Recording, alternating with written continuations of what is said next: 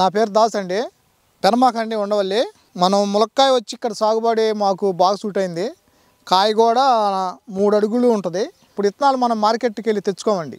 మన రైతు వారికి ఏంటంటే మనం ఇలా వదిలేసేస్తాం ఫస్ట్ కాపుని. కాయ వచ్చేసి ఇత్తనానికి అయితే నిలబట్టిద్దండి. వదిలేసినాక.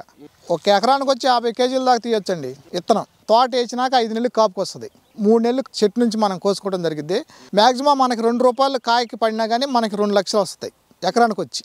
ఒక్కోసారి గాలి దుమ్ములకి కొద్దిగా తేడా వచ్చినప్పుడు తప్ప మనకి ములగతోట మాత్రం సాగు నెంబర్ వన్గా ఉంటుంది సార్ ఈ ఏరియా.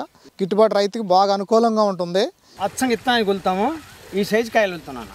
ఈ రేటు కిలో వచ్చి మూడు వేలుకి ఇస్తున్నామండి మేము. నిండు మీను కూడా మన తోట ఎక్కువ కాసిందండి ఆవు పంచం ఎక్కువ వాడేమండి మేము. అది కొట్టిన ఈ క్యాషింగ్ ఏం జరిగింది అంటే ఏగ వచ్చి క్యాకింగ్ క్యాషింగ్ అయ్యి బాగా కాస్తుందండి. ఈ సంవత్సరం తోటలన్నీ పోయినాయండి. మందే కాసింది తోట.